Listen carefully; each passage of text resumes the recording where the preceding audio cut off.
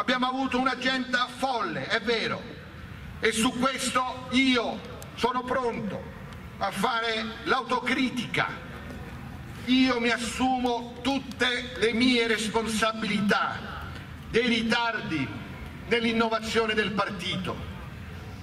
E chiedo scusa, ma dico innanzitutto io ora basta, vinciamo le elezioni, vada avanti chi merita e chi serve alla comunità e non chi è più fedele all'amico più potente all'interno del partito.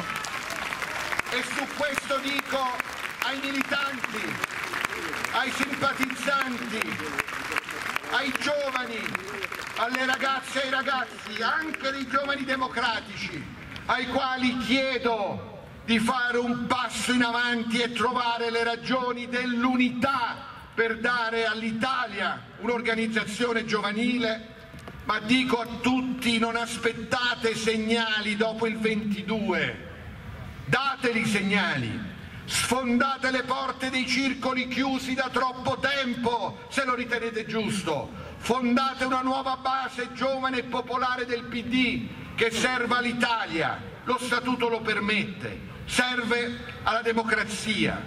Abbiamo davanti giornate di fuoco, durissime, ma in direzione il gruppo dirigente ha dato all'Italia un grandissimo esempio. Abbiamo avuto una bellissima discussione sul referendum tra di noi, dove hanno convissuto idee diverse, ma finalmente nel rispetto reciproco. Volevano che ci sbranassimo, che corresse tra noi il sangue. No, siamo diversi, siamo plurali, ma ci rispettiamo e siamo solidali. E abbiamo scelto a maggioranza il sì, ma sia chiaro, è un sì per combattere, per accompagnare le riforme su una proposta che è nel nostro DNA.